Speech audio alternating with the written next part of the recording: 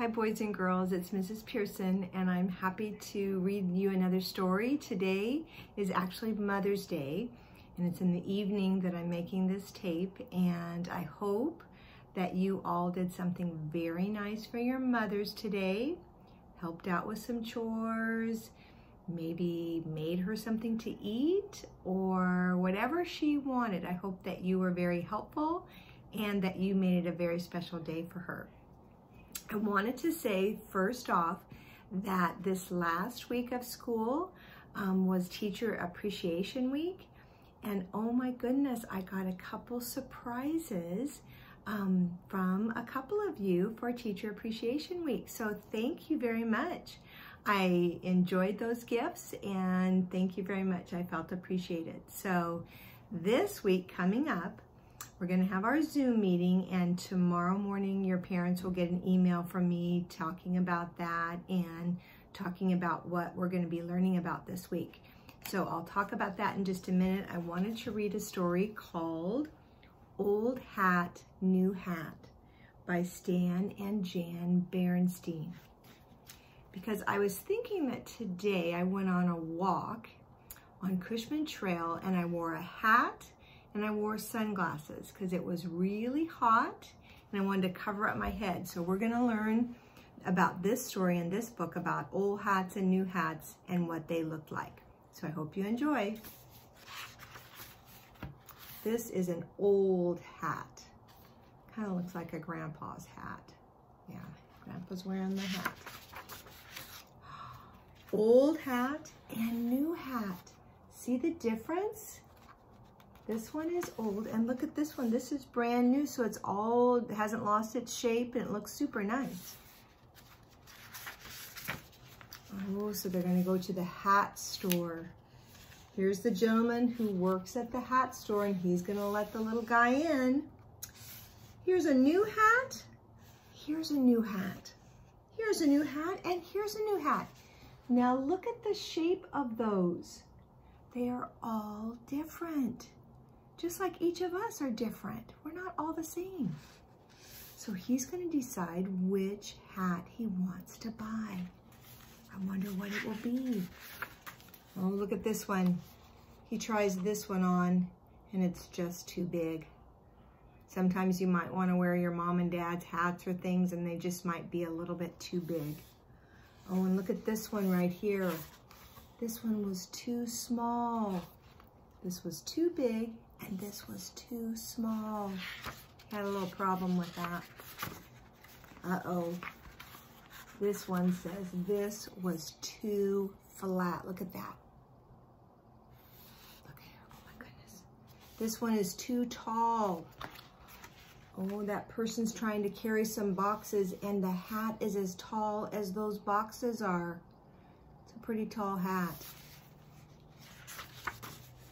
Uh-oh. Here's a hat that says, this is too loose. It's just kind of just drooping down. And this one says, uh-oh, he has a strap around his hat. And it says, that is too tight. He doesn't like that too tight of a hat. Uh-oh, look at this one. This is like somebody, a king or something has to wear this. This is too heavy. Couldn't even hardly hold it. Uh-oh, and look what happened when he opened up the box. It was too light.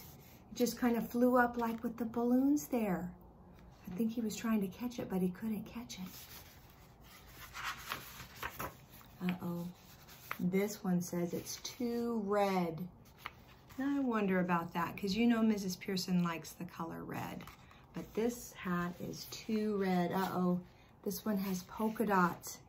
He's saying, that's too dotty. Don't really like that one. Oh, look at this one. He says, hmm, that's too blue. And this one, he says, no, that's too spotty.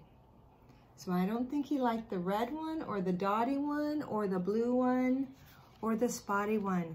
He just hasn't found the right hat yet. Look at this one.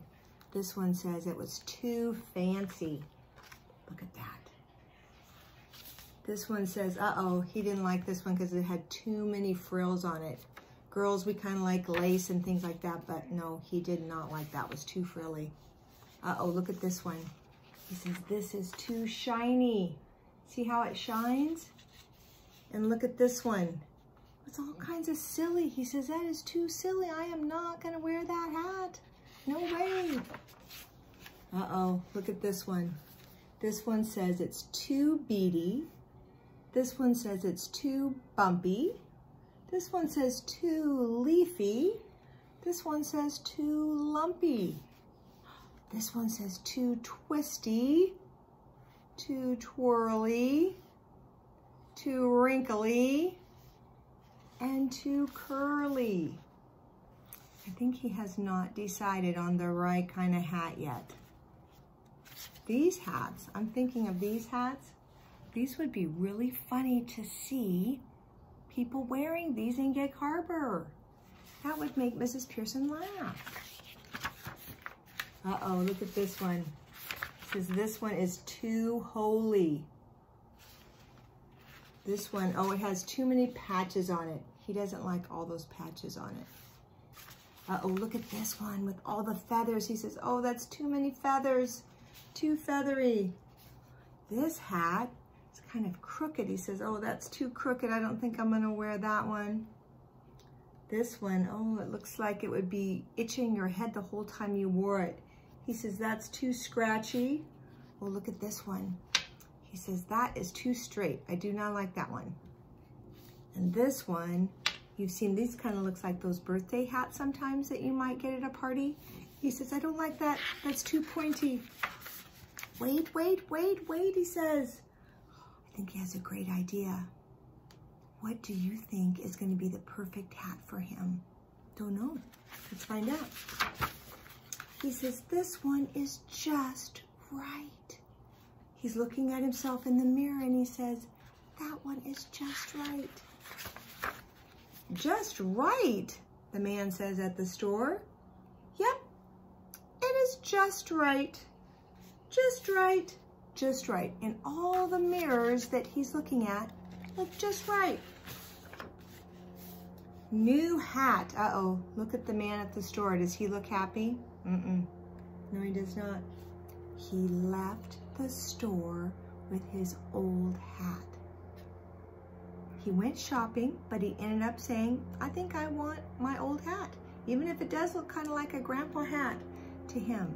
He left the store without buying a hat. So this week, if it gets hot and sunny like it was this weekend, you think about putting a hat on your head to keep you cool in the sun, okay? And this week, part of what your family's gonna learn about when they get my email is that our essential question of the week is, what do you see in the sky? Hmm. Right now I'm looking out my window and I just see kind of a gray sky. It's getting late at night and still gonna, it's gonna get dark here pretty soon. But let's think about all the things that you could see in the sky okay? And then this week, we're gonna be working on our heart words again. Practice working on your, learning the heart words and let me know if you've earned any of your crowns. That would be fun. And then also, I want you to do something for our Zoom meeting this week. You've kind of drawn pictures for me and you've kind of did the, like last week we had the Y and Z words that you made for me. Now this week I want you to do something for me, okay?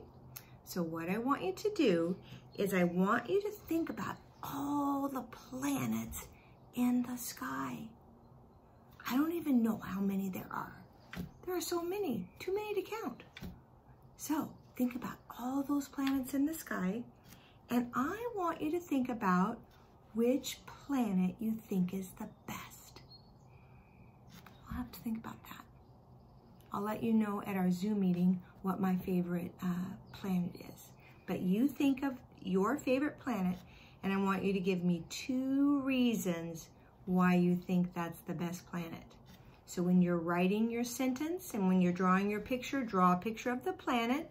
And then your sentence, I want you to say, the best planet is, and then tell me why, because, and then you can give me the reason why you think it's the best planet. Okay?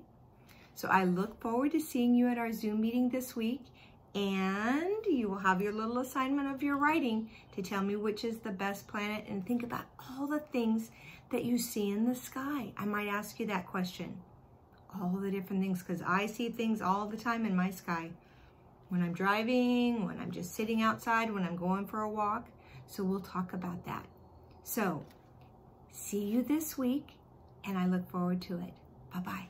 Good night.